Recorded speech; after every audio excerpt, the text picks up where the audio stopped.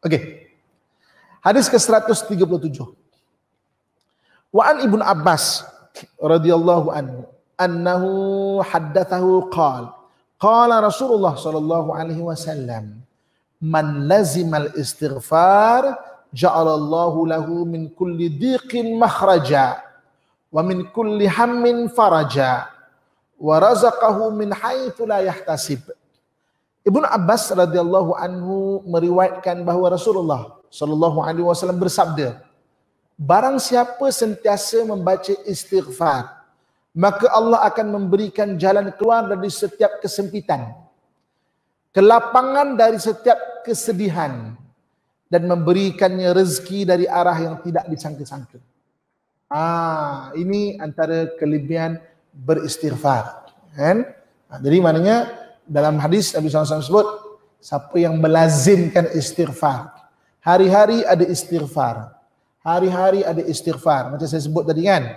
Maksudnya istighfar ni bukan saja minta ampun tapi Allah Subhanahu Wa Taala lapangkan daripada tiga benda tadi. Lapangkan daripada benda tak baik dan juga naik meningkatkan darjat. Dan hadis ni siapa yang melazimkan istighfar? Maksudnya dalam hari sehari tak ada dia beristighfar maka kelebihannya apa Allah apa nama memberikan jalan keluar daripada kesempitan. Ada jalan keluar. Hidup kita tak lari daripada masalah. Tak ada orang yang tak ada masalah selagi mana dia ada kehidupan.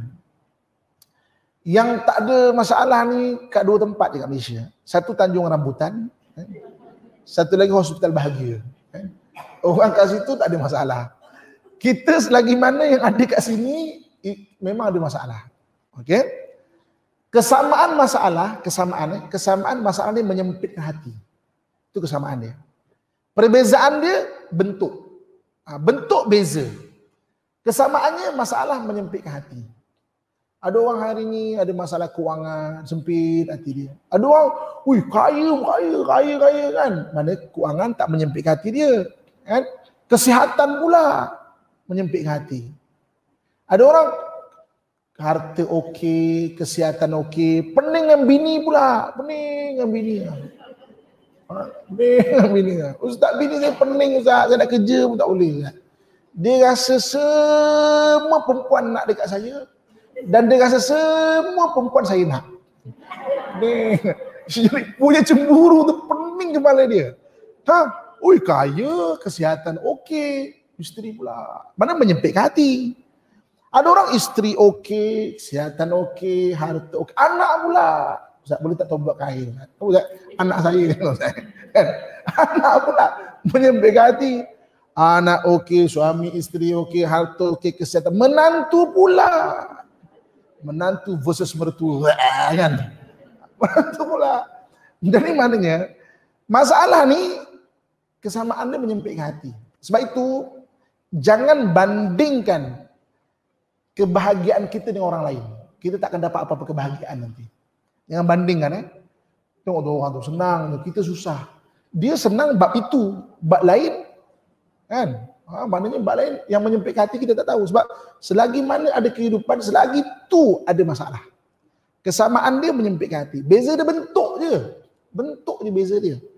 Kelebihan yang kedua dilapangkan dada ketika ada kesedihan. Oh manusia diuji dengan kesedihan. Tapi orang yang istighfar lapang dada dia. Kan menyebut nama Allah ni melapangkan dada eh. Jadi menyebut nama Allah antaranya istighfar. Antaranya istighfar. Kita sedih-sedih-sedih kita ya Allah ya Allah bantulah ya Allah astagfirullahalazim. Dia lapang dada kita. Dan memberi rezeki daripada sumber yang tidak sangka-sangka. Ha, rezeki ni Allah Subhanahu Wa Taala punya. Eh. Kita cuma merancang saja, tapi rezeki Allah Subhanahu Wa Taala punya. Kan? Jadi ibu kakak tuan-tuan sekalian kan. Saya nak bawa satu kisah. Eh. Nabi Sulaiman AS dalam kitab Duratun Asin ada kisah ni. Ya. Nabi Sulaiman AS dia kan memahami bahasa binatang. Okey, satu hari Nabi Sulaiman jumpa semut. Dia tanya semut, semut. Nak tanya sikit. Kan? Setahun kau makan berapa banyak? Ini ke orang akaun dia tak cerita, tak cerita hari-hari atau bulan-bulan kan siapa account dia akan cerita setahun punya kan. Mana ilmu akaun ni Nabi Sulaiman zaman Nabi Sulaiman dah, dah diceritakan. Setahun kau punya makan banyak?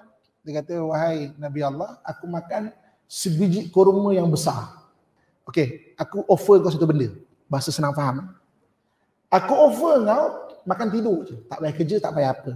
Sebiji kurma yang besar lagi lazat, aku letak kau satu tempat, kau tak payah kerja. Hari-hari kau makan tidur je.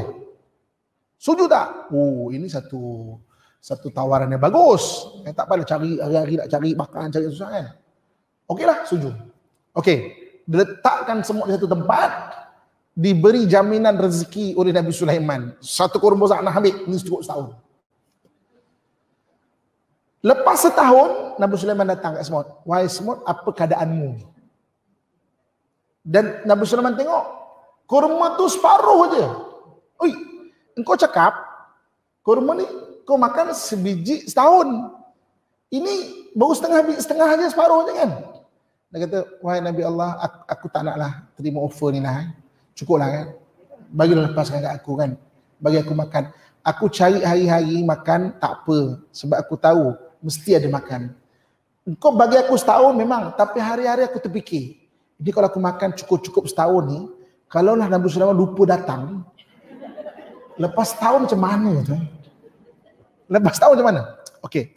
Dia punya point dia adalah. Kita ada duit dalam akaun kita. Dan kita tengok itu saja kita akan rungsing. Kan? Kita itu nak habis ni aduh. Kita akan rungsing. Tapi sebagai hamba usaha. Usaha jangan tak usaha.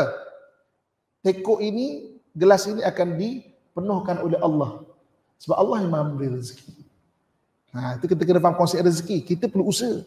Kan? Usaha, usahalah. Kan? Apa pun usaha, usaha je. Allah, Allah akan bagi. Dan salah satu pemudahnya, caranya sambil berusaha, banyakkan istighfar. Barang siapa melazimkan istighfar wa yarzuqu min haitsu la yahtasib. Direzekikan daripada sumber yang tidak disangka-sangka.